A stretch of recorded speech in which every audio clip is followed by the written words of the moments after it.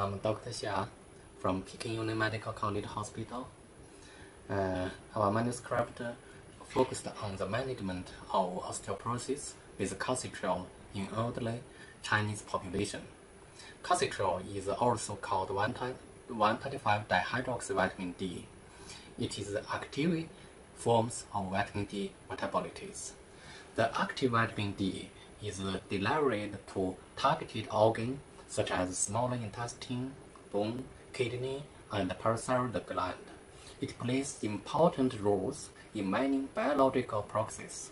After binding to the vitamin D receptor, the main action include bone metabolism and muscle function. As the country with the biggest population in the world, China is facing a big problem of osteoporosis. Calcitriol is particularly recommended in the Chinese guideline in managing osteoporosis. It is thus necessary to clarify the evidence surrounding the use of calcitriol on osteoporosis in the Chinese population. Studies reviewed here include six randomized controlled trials on the calcitriol monotherapy and five RCTs on calcitriol combination therapy. Evidence from this trial showed that calcitriol monotherapy can improve bone mineral density in elderly Chinese osteoporosis patients compared with the control group with placebo in 12 months. It also decreased bone turnover marker and bring about significant improvement to muscle strength.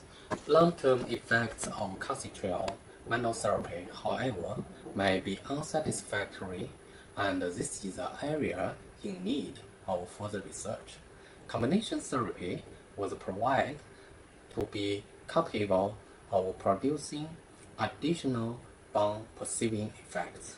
Compared to the use of calcitriol alone, there, these effects were shown in areas including BMD, bone turnover markers, pain improvement, and fracture incidence.